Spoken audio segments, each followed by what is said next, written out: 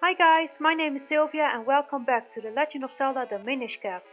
In the last episode we took on Deepwood Shrine and got ourselves the Earth Element and what the, the village elder said, if we got the Earth Element we have to go back to him. So let's do that immediately. So let's go back to the elder, to the mushroom house. Hello elder, we've got it. So you have found the Earth Element. You are blessed with much courage and strength for one so young. If your conviction holds strong, head to Mount Crenel. There you will find a man named Melari. Among all the Minish, there is no one more able to repair your sword. If you ask him, he will surely reforge the broken Picori blade. I shall send word to him in advance. Travel safely. You are brave, but there are many evils now in the world. Alright. So, those were kind words of him. Leave through this door here. It will take you out of the forest quickly. Great Elder, we are in your debt. We shall head for Mount Crenel at once. Yes, thank you so much. Alright. So, now we are in a different part of the Minish Woods and before we want to grow, we want to head into this little house here. Talk to this little Minish, green clothes and a mystical hat. Sir, would you by chance be Sylvia, the one who found the earth element? Surely you are. I have heard so many tales about you. Uh, it's been 10 minutes, not even 10 minutes, since I've had it. So, wow, goes fast, the story. I am Bellari, researcher of antiquities. I am also, well, a bit of an inventor. You know, you won't be able to get back to town due to all the debris. Here, I have something that might come in handy. And he gives us the bomb bag, so we can actually carry 10 bombs now. And there are already 10 bombs in it, so we can blow up some stuff. Thank you. Alright, so now we want to grow. There we go. And uh, destroy these patches of grass here. You never know what's under it. Never know. And what is this? What is this? Holder of the sacred powers, we grant you the power of wind. Hmm? What? It blew up? Hey kid, look at where that stone used to be. There's some strange symbol on the ground. Yes, of course. Why, that must be. Well, I haven't the foggiest, to be honest. Hmm. What? I totally didn't understand what he was talking about, to be honest. And we fi found five bombs. I know we are stuffed with bombs, but uh, it's good to know that we can actually find them in, in grassy areas, so that's a good sign. Alright, so we can test out our bombs here. There we go, got a shell for it. We find a lot of shells, to be honest. And be careful, this is a new enemy. This is a spiny beetle. And uh, spiny beetles can hide in grass or under rocks. And uh, they attack at the last moment. So there you go. That's exactly what I mean. You take damage because you didn't expect it. And it just came out of nowhere. So uh, let's bomb this wall right here. I see some new enemies up there, but we are not there yet. And this is a Keese just a bat, but they like the name Keese, I guess. Another 20 mysterious shells. Wow, it's going good. Uh, let's see. So, this is a new enemy. This is a Peahat. And the only way to kill it is to get your, your gust jar and just do that. Oh, I got them both. Great. Alright. So, uh, we can actually bomb this right here. Why not? There we go. Oh, got three shells for it. Wonderful. Kill these echo bandits. One a heart, thank you. Alright, so now we are in South Hyrule Field. Everything is open now for us. Um, before we go to Hyrule Town, I want to do something and I walked completely the wrong way. Excellent. Well, we can open stuff up now, so that's great. Um, it's actually here. Here we go, another one of those obelisks. Holder of the sacred powers, we grant you the power of wind. Hey, that stone obelisk crumbled, and there's another of those marks. You know, no matter how many times I see that happen, it still rattles me. It's the second time. Stop overreacting. Oh boy. Alright, so we did that. And now I want to do something else first. Go down here and just open up this wall. There we go. And it's a fairy fountain. It's good to know that there is a fairy fountain so close by. You found a fairy. This reliable ally will replenish your life energy.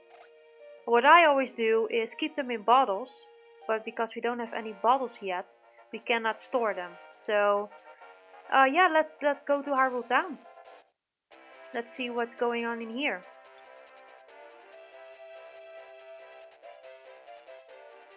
That looks funny. Come one, come all. Come see how many kinstone pieces you can collect.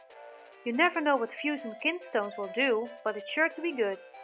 Come on up and get your free kinstone bag for holding your kinstone pieces. Don't miss out on this incredible once-in-a-lifetime opportunity. Yes, yes, you are here for your free kinstone bag, aren't you? That's right, maybe you didn't hear me, but they are free for all kids right now. I'm a kid. You got a kinstone bag, you can now carry kinstone pieces with you. Press start to view its contents from your quest status screen. Alright, Fitting two kinstone pieces together is called kinstone fusing. If you get two pieces to fit perfectly, great happiness will come your way. I'll put a kinstone piece in your kinstone bag so you can give it a try, that's a lot of kinstone. Anyone who's ready and willing to fuse kinstones will look like I do right now. When you see that look in their eyes, that's when you press L. Use D-pad choose a kinstone piece and press A to try fusing it. Did you catch all of that? I did. Then stand in front of me and press L, so we can fuse kinstones. Alright, let's try it. Yes, yes, that's it. Press L, then you can see the kinstone screen. Alright, so this is the kinstone piece he put in our bag and he has the, the same piece, but then the other half. So that means we have one full kinstone now. And uh, let's see what's, what will happen. We just walked past that and now it's opened. So we can check that out immediately. A perfect fit. That means we are both due for a little happiness. See ya! Alright. Look at the kid with the bugger. Love it. Alright, so now uh, we wanna check out that that tree that just opened up. So let's see what uh, What's going on? A piece of heart. This is piece of heart number 5. So we are doing great here. Alright, so uh, that's all. So let, let's go back to, uh, to Hyrule Town. There's nothing much we can do here for now. So let's go back because there are a couple of things we can actually do here and I want to start with this house right here. I am Swiftblade, finest swordsman in all of Hyrule. If you train with me, I guarantee that you will increase your skill dramatically. So, would you like to train here? Yes, please. We shall start with the most basic of all techniques. I shall teach you the spin attack. First, press and hold your sword button. Second, build up enough power. Third, release your destructive might. That's all, young swordsman. Do you understand? I think I do. Haha, very good. You are a very quick student. But one must feel the technique, not just hear about it. That's why I will now possess your body so as to demonstrate the technique. You can do so. I call this the Swift Blade Switcheroo technique of training. Watch this, earn switcheroo.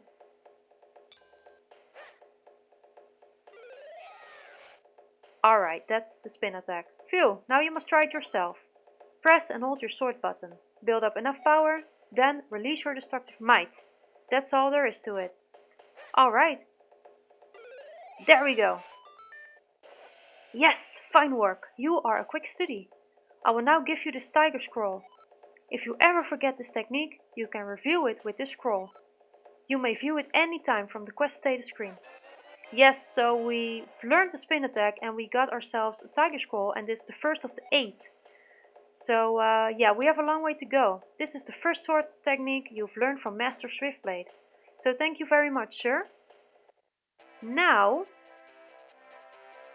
we have 98 rupees. We can buy ourselves a bigger wallet. So let's do so. Only 80 rupees for a wallet. It can hold a king's ransom of rupees. Will you buy it? Yes, I will. There we go. So we got now a big wallet. So I believe we can now carry 300 rupees instead of 99. Much obliged, my good lad. Please do not hesitate to stop by again. Yeah, you want my money, don't you? Alright. Uh, what I want to do now is remove this pile of dust. Uh, so someone can sit here and sell stuff and uh, yeah maybe it's it's handy for us. You never know. So let's see. There must be an obelisk here yes. So another one of those things. And uh, I'm not going to say what this is for but I will say that it's it's for later on. And it's a very important mission that we crumble all these obelisks. Alright so now we need to go to another place. But as you can see, this guard wouldn't let, let us pass. So let's talk to him. Ho ho, so you've learned the spin attack. It's still dangerous, but maybe you can handle it. Well, let's see how you do. Show me that spin attack. Alright, look at this. Yeah, that's the one. But there are monsters out there, kid. You just make sure you are careful. So you have to learn the spin attack before you can uh, can leave through here. And uh, this is a new enemy. This is a Keaton. It's like a fox. And you need to be careful because it can dash. And uh, if it dash you, yeah, that that's bad news. Then it will, uh, you will lose your rupees because it will dash all of your rupees. I cannot explain it too much, but uh, let's go down here and bomb this wall. We just need to kill it soon, uh, very quick or stay away from it. So make sure it doesn't dash into you. Oh, a business scrub. There we go. Okay, you got me. Let me make it up to you. You can have this most deluxe of all bottles for only 20 rupees. So what do you say, huh? Yes, you wanna have this. You you need to have this, actually. You got an empty bottle. Use it to store all sort of things. Thanks a lot. Yeah, you thanks a lot. Alright, so there's nothing we can do with this platform yet, but uh, it will come soon. Alright, so we are basically done here in this area. So let's go in here because we need to go to Mount Crenel. And uh, so this is where our next mission actually begins. So you can go in here. It's it's uh it's more it, it's it's information what this thing is giving you. Okay, you got me. I'll make it up to you by telling you something good. A friend of mine in a cave in the south of Trilby Highlands has a handy tool. If you want to climb Mount Crenel, I suggest you go buy it from him. Yes, and that's the, the empty bottle he is referring to. Uh, as you can see, there are 20 rupees up here. Get it. Rupees are very important in this game. And um, yeah, you see this fine? What you want to do is grab some water in your bottle. And uh, now we can sprinkle it on things. So do this. And the Mario vine will come. And uh, we can actually head into Mount Crenel.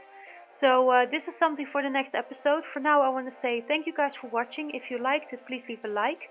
If you want to see more, please subscribe to my channel. Check out my other series. Do anything you can to support me. And uh, hopefully see you on the next episode guys. Then we take on Mount Crenel and hopefully we find Melari. So thank you for watching. Bye!